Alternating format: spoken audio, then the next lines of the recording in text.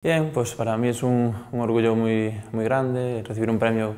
que es encima pues, un premio que te entrega un poco la, la afición, pues, que valora tu trabajo de, de, este mes y para mí es un, un, orgullo enorme. Todos son buenos momentos. En, en, casa sí que es verdad que llevamos ahora dos partidos sin ganar, pero creo que estamos haciendo las cosas bien y, y pienso que este partido contra el Valladolid es muy importante para nosotros para volver a, esa, a lo que tú dices, a la senda del, del, triunfo y creo que lo podemos lograr. La base del ascenso va a estar en, nuestro campo, eh, sacar el, máximo número de, puntos fuera, en casa, porque fuera está claro que,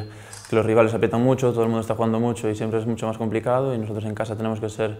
muy fuertes, que, todos los equipos que vengan a votar que sepan que, que, lo van a tener muy complicado y bueno, es un poco nuestra intención. No, yo creo que es un poco la línea de todos, de todos los años. Eh, la, la, la, división es muy igualada, eh, el, el, último es capaz de ganar al primero y, y así eso, eso lleva a una, una clasificación igualada, que hay muy poco margen de puntos entre, entre los equipos y está claro que esto se va a decidir en, los, en las últimas jornadas y el que sea más, más constante y regular pues se va, va a llevar el, el, el, premio. Suelo entrar con el, con el pie derecho al campo, eh, de vez en cuando también, bueno, antes de, de salir al campo rezo un poco, me presino y bueno, es un poco lo, lo que sigo. Sí.